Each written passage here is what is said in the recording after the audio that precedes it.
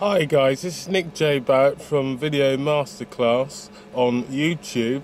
Um, now, I want to do a shot in a car as if from a drama, but cars are notoriously difficult because uh, it's dark inside the car and a lot of the times you've got sun on the walls in the background. So depending on which way you shoot it's kind of quite bright. All right for documentary not a problem.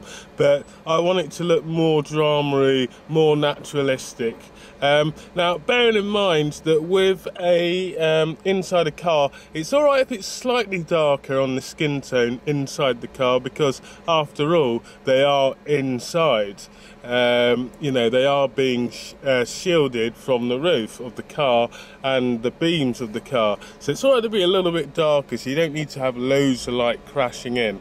But I don't have any artificial lights with me, or I'm on a location where there's no power. Um, so what I've got is I have a mirror and a reflector a mirror and a reflector. Now, normally what you'd do, I don't know whether you can see that, normally what you would do is you would have somebody standing at the end of the bonnet with a reflector kind of reflecting light in. But you know I don't really want that. I want something a bit more dramatic. So I'm going to set it up um, and then we'll see what happens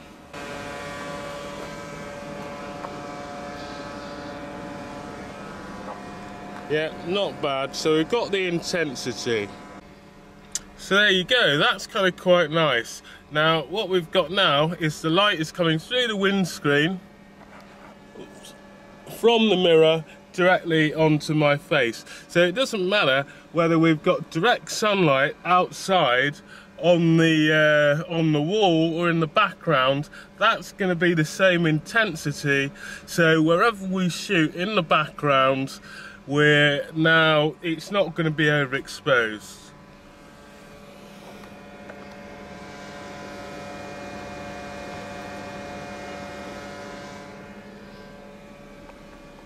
And as you can see all the way around that's quite nice. And that's kind of without playing with the exposure. And that's quite sort of moody.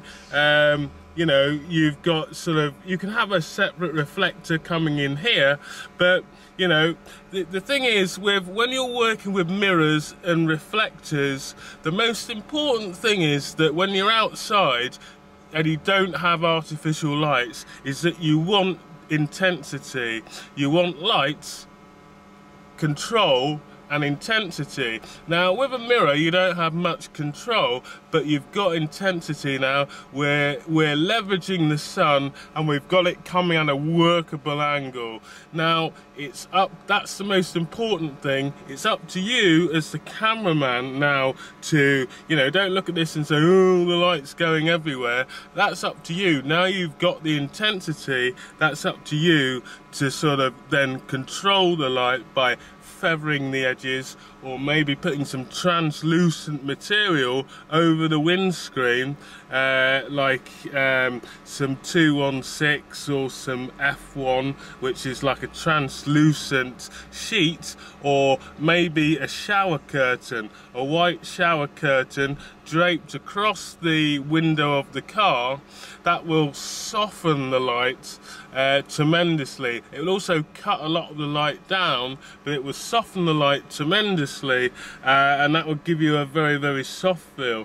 But I actually quite like this. Um, I'm going by what I'm seeing on the monitor so my little monitor isn't great. That's going up a little bit. Uh, that might be fine. It might be a little bit too bright. Looks like it's going a bit bright in the background but my face is going up with the same amount of brightness. So that's kind of um, you know that's not bad I like that. But we'll try it we'll try it with a little bit of fill from this side as well.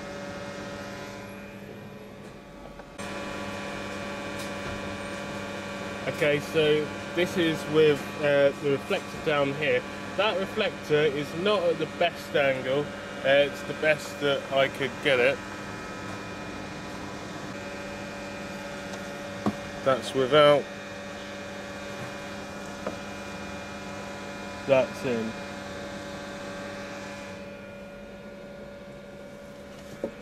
That's without.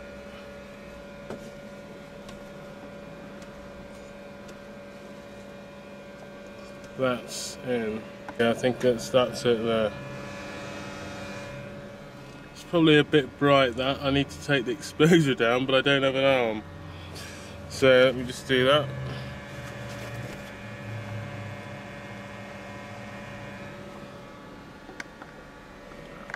Right, that's the main light. It's the, uh, I must confess, the sun has just gone in a little bit, so that's probably looking a little bit dark. But uh, if I wanted to take it round to here,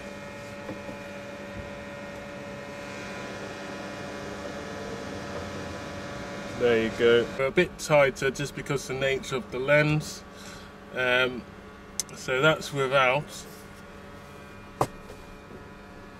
And that's with just offering a little bit of a kick light on the side of my chin there which just kind of adds to the effect. You can see that there.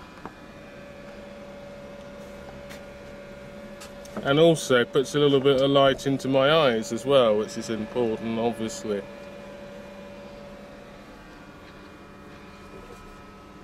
take the exposure down a little bit and I am actually using a manual camera a manual exposure because you need to be able to do that. Right the sun's come back out to where it was um, for the initial shot. And there you go just a little bit on the chin there on the side of the face which is quite nice for kind of dramatic purposes.